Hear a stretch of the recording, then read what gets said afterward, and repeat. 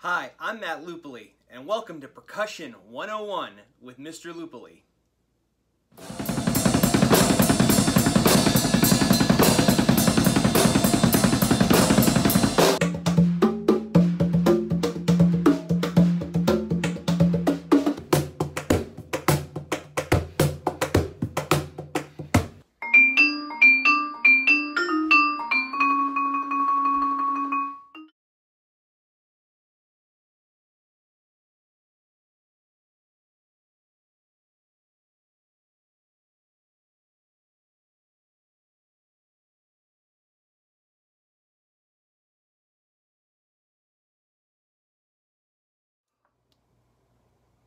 Hey guys, Mr. Lupoli here, and welcome to Percussion 101 with Mr. Lupoli.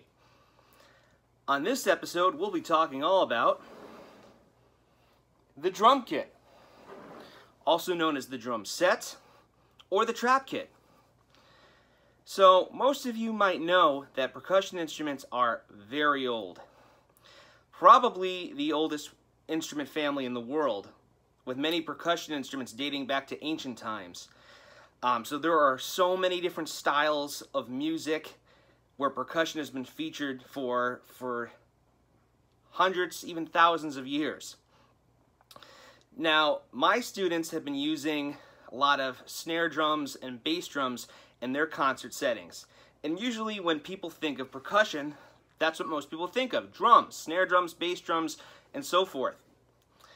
But for many years, instruments like the snare drum and the bass drum, they were strictly military instruments, meaning that in times of battle, armies would take drummer boys with them.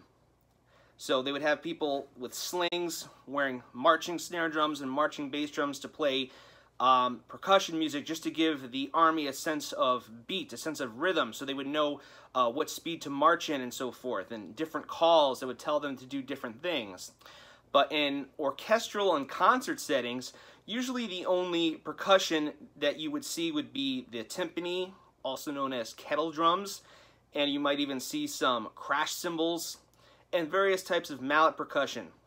Snare drums and bass drums didn't arrive in orchestral settings until around the 1800s. And for many years, you would have one percussionist assigned to each instrument.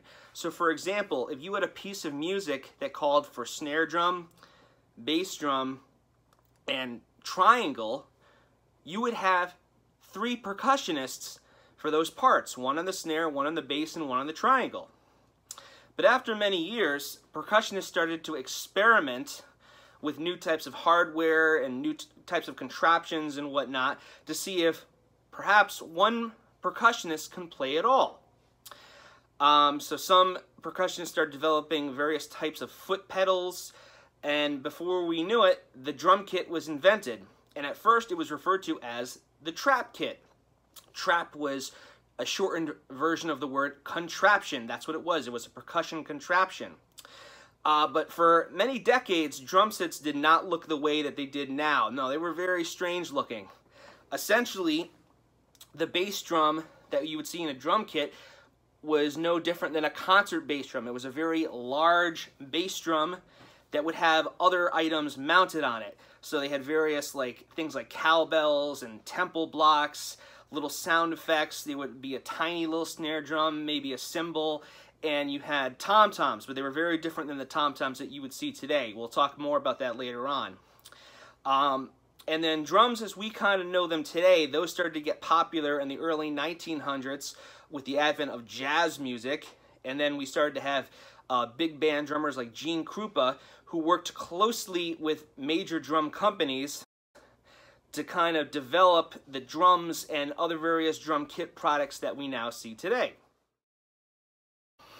Now, I first started playing the drum kit when I was about 14 years old, and uh, when that first happened, in addition to learning how to play the instrument, I also uh, studied the various drum manufacturers that were around in the market today. Uh, so the very first kit I played on was my dad's 1968 Gretsch drum kit. Uh, my dad had studied drums when he was a young man too, and uh, I sort of inherited his first kit. Uh, it was a beautiful five-piece kit in a champagne sparkle finish. Uh, that's another thing I love about these drum kits is that they come in so many different colors and shades and finishes. But I love this uh, champagne sparkle kit. It's very, almost has like a royal kind of look to it. I, I love it. Um, now, you notice that when I refer to it, I refer to it as a, uh, a five-piece kit. And when you say that, like, oh, I play on a, a four-piece kit or I play on a 10-piece kit or whatever, you're just referring to the drums themselves. You're not counting any of the cymbals or anything else. So if you say I have a five-piece kit, that means you have five drums in your kit, and you might have five cymbals too, but you don't include those.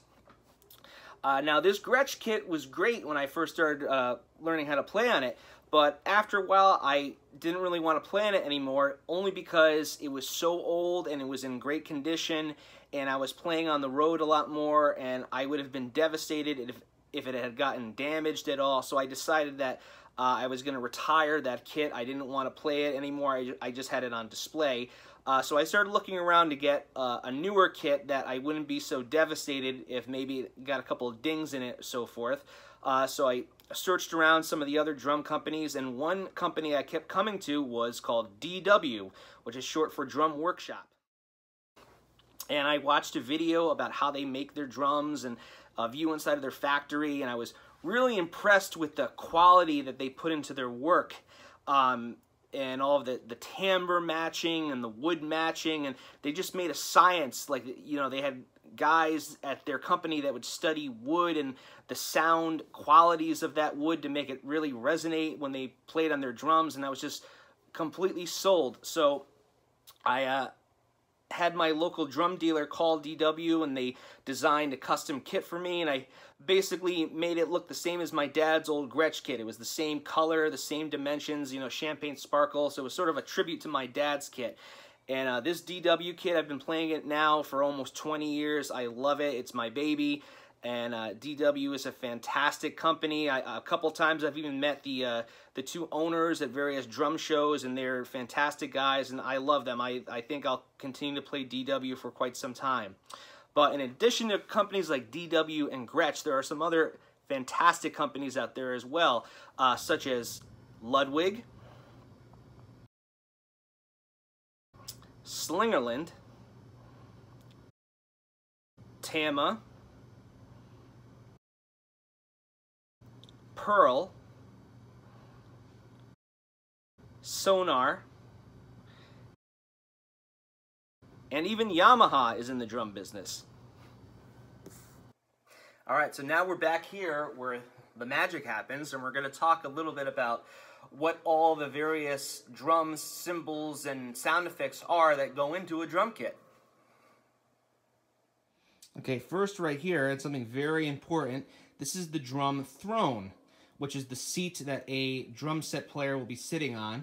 So when you are picking out a drum throne, make sure you pick out one that's very comfortable and that's easy on your back because you have to remember you're going to be sitting in this for quite some time. So you don't want to sit in anything that's going to be uncomfortable or it's going to give you any back problems.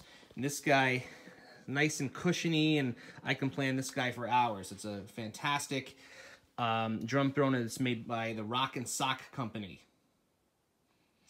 Now over here, let's start with this guy. So this is a drum that many of my students have seen before. This is a snare drum, just like you would see in a concert setting, but specifically this is a drum set or a drum kit snare drum. Um, so it is a lot thinner than uh, a snare drum that you would see in a marching band setting. It's a little bit more um, in line with one that you would see in a concert band setting. So this, it's about uh, five and a half inches on the shell. And just like any other snare drum, we have the snare lever over here. Which goes up and down. And that's going to change the snares. Alright, so here's an underside view so we can see more of what I was talking about. So I was saying that this is a snare drum and I was talking about the lever that uh, either raises or lowers the snares. These are the snares. So that's what gives it its signature sound. Um, and also on the underside, we can actually see into the drum. We can actually see it's a wood shell. See, DW, they put a great quality in their shells. And we even see a little signature right there. That's the signature of Johnny Craviotto. So Johnny Craviotto is a master snare drum maker, and he just so happens to make snare drums uh, for DW. And when I heard about this, I specifically requested a, um, a Johnny Craviotto snare. I said, I want to make sure that he makes my snare drum um, because his snare drums sound fantastic and you know, he signs everyone when he's done with it. And someday, you know, years from now, after he passes away, his snare drums are going to be worth a lot of money. They're very unique instruments. All right, and I just wanted to give everybody a little sound test. Here's what the snare drum sounds like with the snares on. Get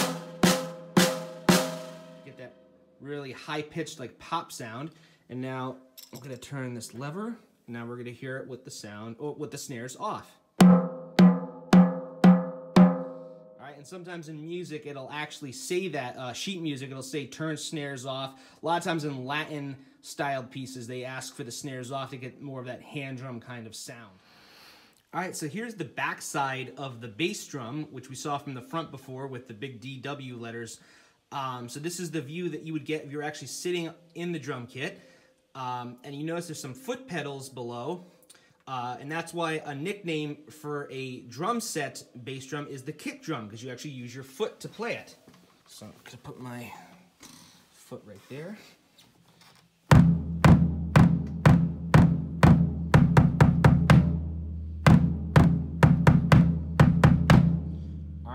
And some of you might have also noticed that looks like there's two mallets right there. That's because I have what's called a double bass drum pedal. So I have one foot here and I have one foot over here as well. Now, that's because in the 1950s, it was made popular to use two bass drums. This was originally made popular by the jazz drummer Louis Bellson. He claims to be the first person to do that, uh, to put two bass drums together, and he kind of argued that now whatever you do with your hands, you can now do with your feet. But it really, the popularity of this didn't really take off until the late 1960s. And that was because the drummer Ginger Baker, who is best known as the drummer of Cream, he used two bass drums. And uh, that was a very popular band, and he was a very popular drummer. And suddenly, a lot of drummers were using two bass drums. And we see that a lot throughout the 1970s and the 1980s. But starting in the 1990s, we started to see less and less people using two bass drums, and that's because the double bass drum pedal was invented.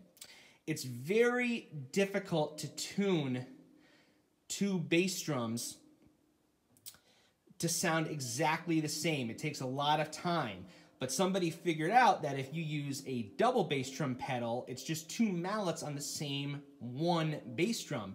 So now you don't have to worry about using two bass drums anymore. You can just tune one bass drum the way you like it, and with a double pedal, um, it'll all sound the same. Here's a little, uh, gonna experiment a little bit. Here's a little demonstration.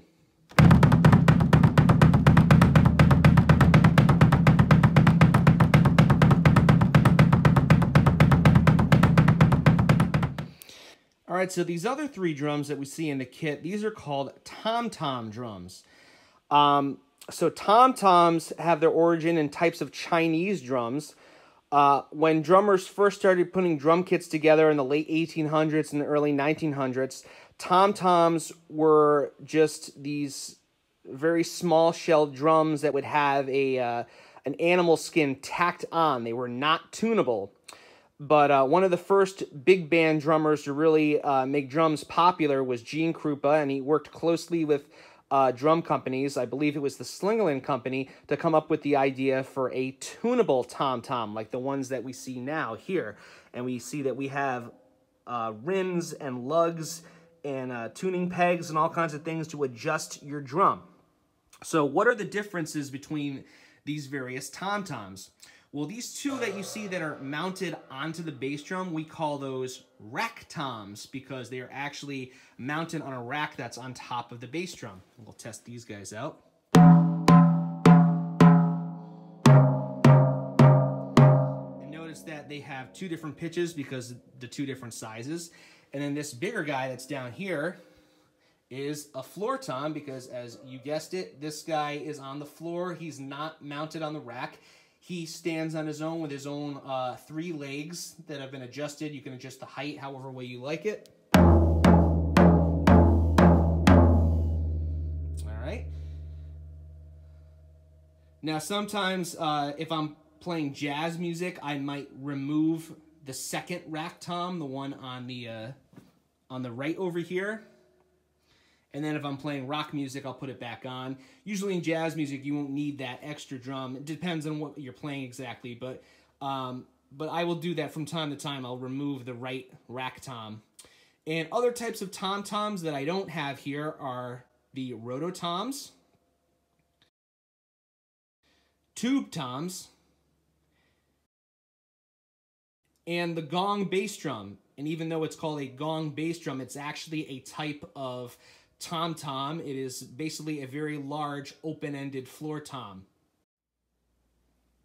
All right, and here's one last drum I want to show you. This is actually another kind of snare drum, but this one's called a piccolo snare drum. Piccolo is the Italian word for small, and as you can see, it is a very small snare drum. It's very thin, much thinner than my uh, regular snare drum. And the reason why you would have this is because since it's so small and thin, it has a very high-pitched sound. You get a nice sort of pop.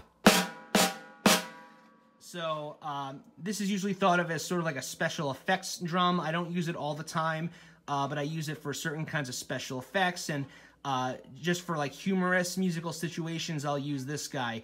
Um, but most of the time, I'll just use my regular uh, five and a half inch snare drum. All right, so we're going to talk a little bit about the cymbals now. Um, so drums, as we know them today, um, kind of evolved from types of log drums that were in Africa. But cymbals, as we know them today, are evolved from types of cymbals that we saw in Turkey and other parts of the Middle East. Uh, so you probably notice that all of my cymbals have this word on them, Zildjian. Uh, Zildjian is a very old cymbal manufacturing company. Um, they're actually originally based in the 1600s in Turkey. Um, there was an Armenian man who lived in Turkey who made um, cymbals um, actually by accident. He was an alchemist and he was trying to find out how to turn base metals into gold. And instead, he invented a metal that had amazing musical qualities that didn't break. It didn't like uh, break like glass. It's you know it was very tough. Uh, so he showed them to the Sultan of Turkey, who was very impressed with them. So he said, "What are you called?" And he said, "Oh, my name is Avedis." And he said, "What is your family name?" And he said, "I don't have one." Um, so he gave the man the name Zildjian, which is Turkish for cymbal maker. And after many years of making Zildjian cymbals in Turkey, eventually the family came over to the United States. And um, they are now based just outside of Boston, Massachusetts, and they have a, a, great factory. The factory is not open to the general public, but when I was in college, uh, my professor, who's a Zildjian performing artist, he was invited to go tour the factory with all of his students, and that included me. And uh, we got to see how cymbals were made, and it was amazing. I felt like I was at Willy Wonka's chocolate factory, except it was cymbals instead of chocolate. Um, so we have different kinds of cymbals here that are made by Zildjian. So if you can only have one kind of cymbal, it would have to be this guy right here. So this is and yes, it's actually two cymbals. There's one on top of the other. These are called the hi-hat cymbals. And hi-hat cymbals are evolved um, from the crash cymbals that you see in marching band and orchestral settings. They work together as a pair. And it is operated with a foot pedal, just like we saw with the bass drum. So it's a great cymbal because it helps you keep time helps you keep the beat, so to speak, with your left foot. And you can do great things with it with a stick.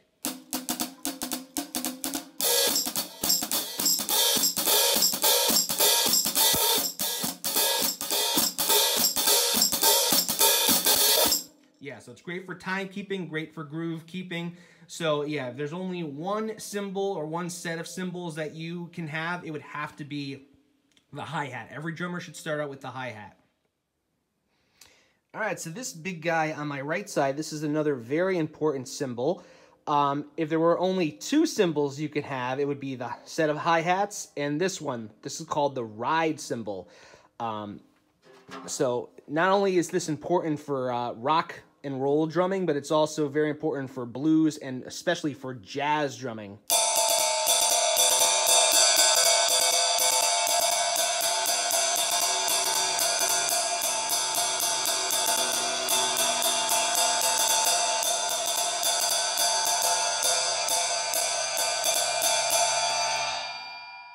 So that's what we call riding. So it's just like on the hi-hat, I was kind of keeping time, grooving on it and so forth.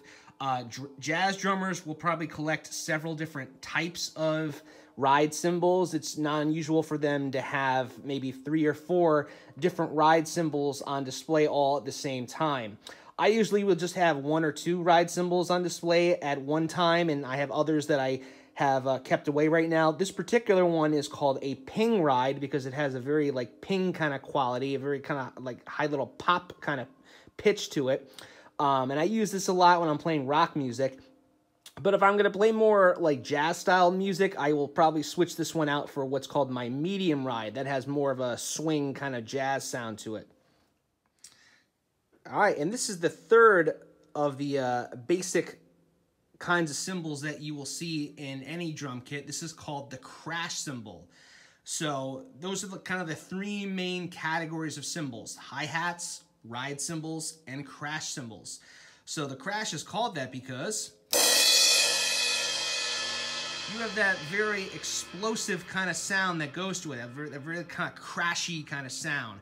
So uh, crash cymbals are kind of to rock drummers what uh, what ride cymbals are to jazz drummers. I mentioned before that ride cymbals, you'll find a lot of them with jazz drummers. They might have several on display. Well, rock drummers will probably have several different kinds of crash cymbals. They might have three, four, even five kinds of crash cymbals on display, all different sizes and different types. This particular one is called a thin crash. All right, and then over here, this is actually another kind of crash cymbal, believe it or not. Uh, this is actually called a splash cymbal because it is such a small little crash one. It doesn't make the same kind of crash that the thin crash does. It makes a smaller kind of splash. And I use that in a lot of little like uh, special effects and whatnot. And this guy over here technically is a ride cymbal, um, but I tend to use it more as a crash cymbal. This is actually called a crash ride. So technically it is a ride cymbal, but it has kind of a crashy quality to it. So you can use it as either one. You can use it as a ride cymbal.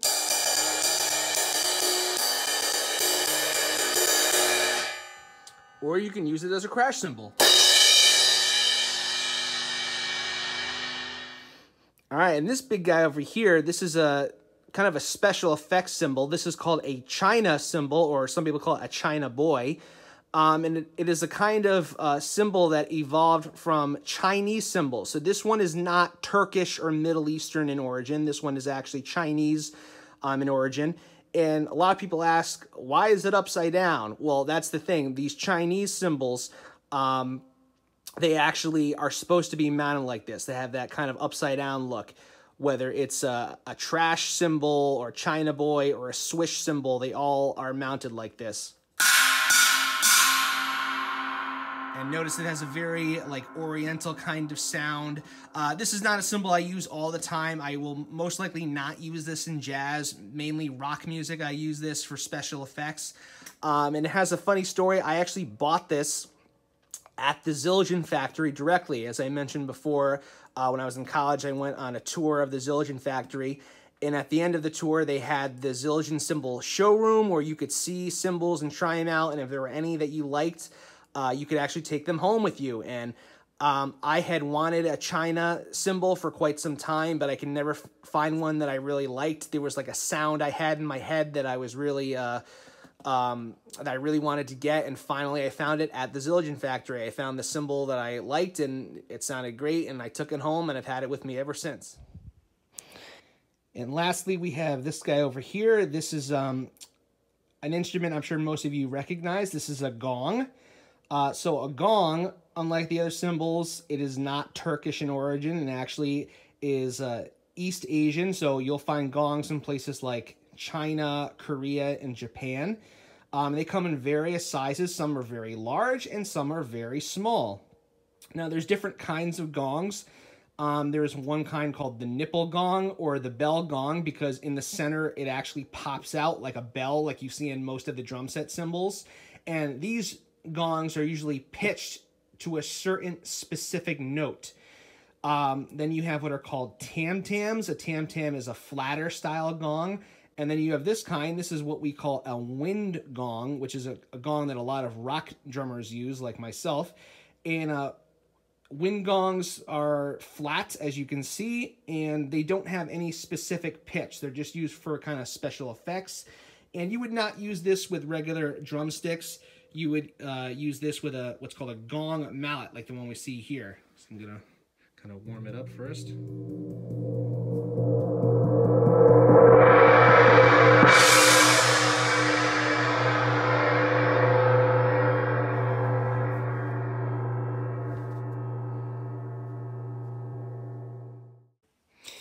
Now, some of the other great cymbal manufacturing companies out in the market today, other than Zildjian, also include Sabian, Paiste, and Meinl.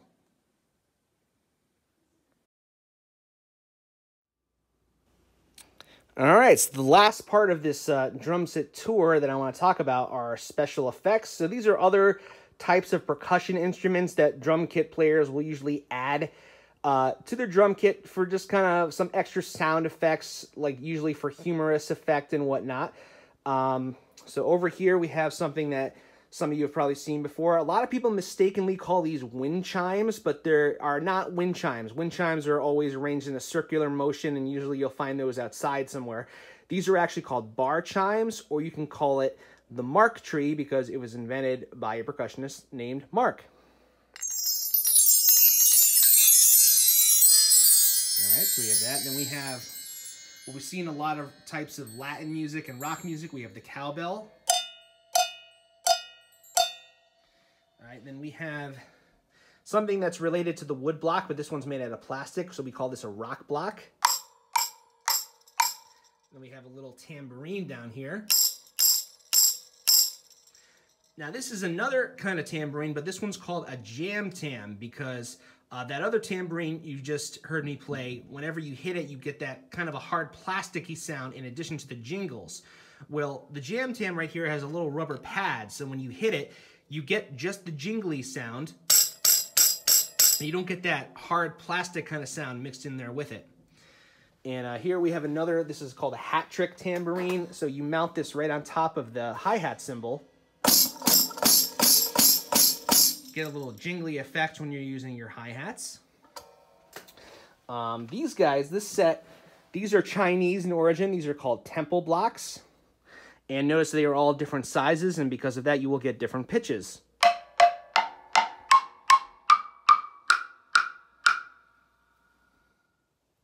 Okay, so now we're going to talk about some basic drum set grooves. So, first of all, when I first started playing, it occurred to me right away that if you were going to study drums, you were going to study jazz. Just because jazz is such a very drum-oriented style of music. And obviously, yes, there are types of jazz that do not feature any drums at all, but a lot of jazz music does feature drums. And there are different styles of jazz, and there's different types of jazz grooves that you will perform on the drum kit. So let's start with the most basic one. That one's called the swing beat, and it goes a little something like this.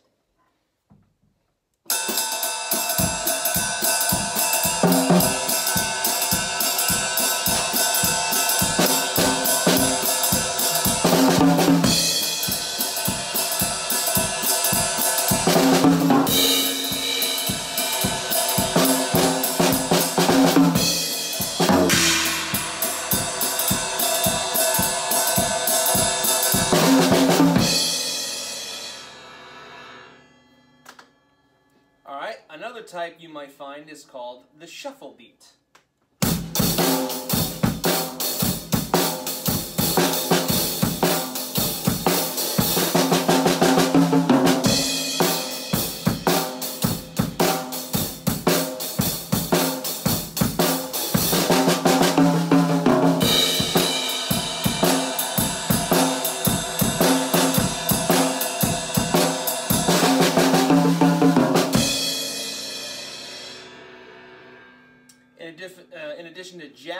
That's also one that you will find in blues as well.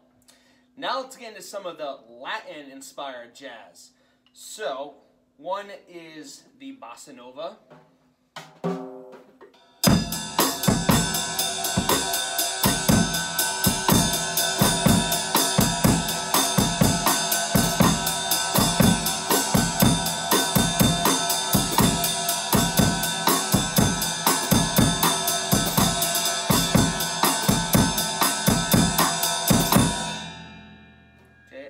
Type is referred to as the cha-cha or the cha-cha-cha.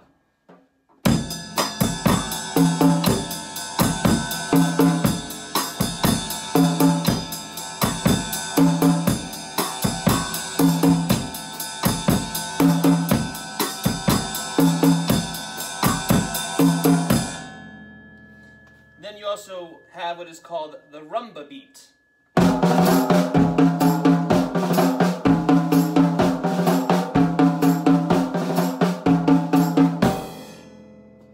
Alright, so different kinds of jazz grooves. There's so many different kinds, and they they have published so many different books of all the different grooves that you might play on the drum kit.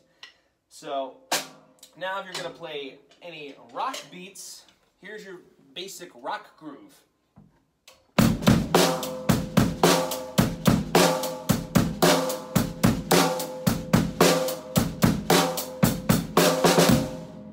That's your just your basic rock groove. Now, uh, usually rock drummers will add what are called fills, and that's when you play different rudiments on the snare and all the other drums, like the tom-toms, and then usually end off with a crash. It's just to kind of fill in all that empty space. It goes a little something like this.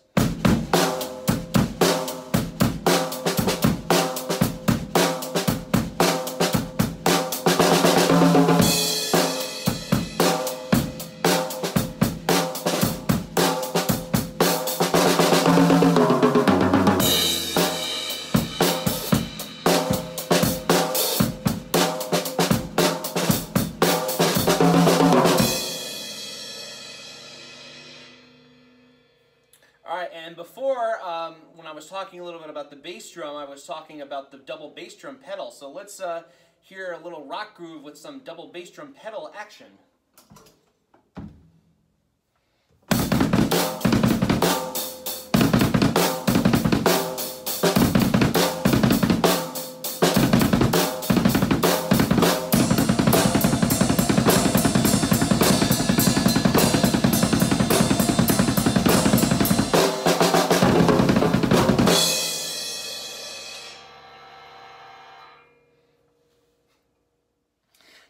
Two types of uh, drumstick grips that drummers use. So the original one is what we refer to as the traditional grip.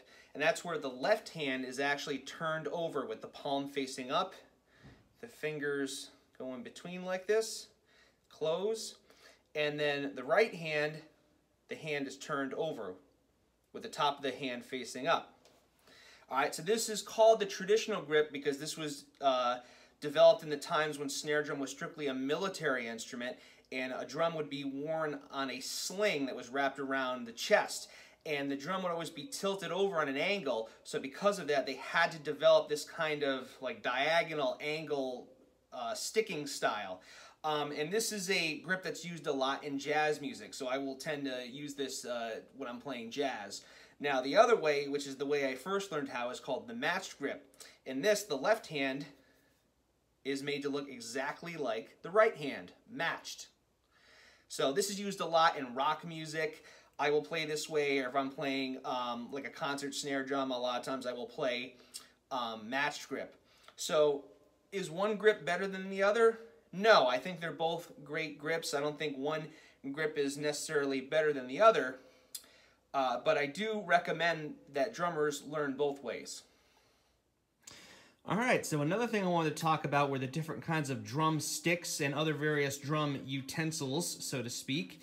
Um, so when I'm playing rock music, usually I will use this kind of drumstick.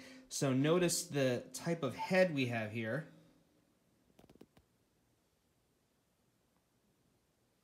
So it's a much more like oval shaped kind of head as opposed to a very round head. It's a, gives it a better kind of rock sound. Then right here, now this is a little smaller, rounder sort of drum heads. This is a stick that I would use for jazz music. And then these other guys aren't really they're not really uh, sticks at all, and that's why I kind of give them the name utensil. So this is called a drum brush. And I once had somebody ask me, like, oh, does that mean that you clean with it? No, it's actually an instrument. Um, it gives it a much um, softer, wiry kind of sound, but it is not used like a typical drum stick, just meant to be softer. It's a different kind of instrument, and I'll demonstrate that for you in just a bit.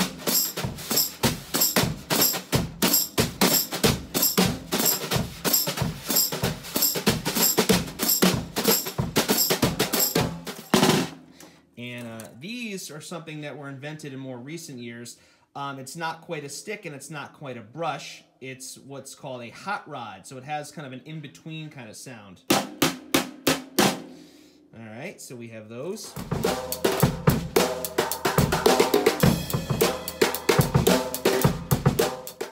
And then over here we have yarn mallets.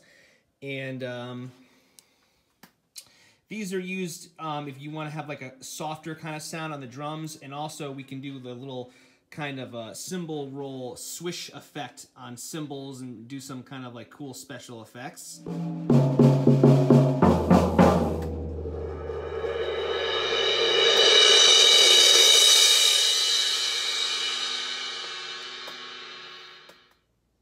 Now, if you're really serious about playing the drum kit, here's a compilation of some of the greatest musicians to ever sit down at a drum kit for you to listen to.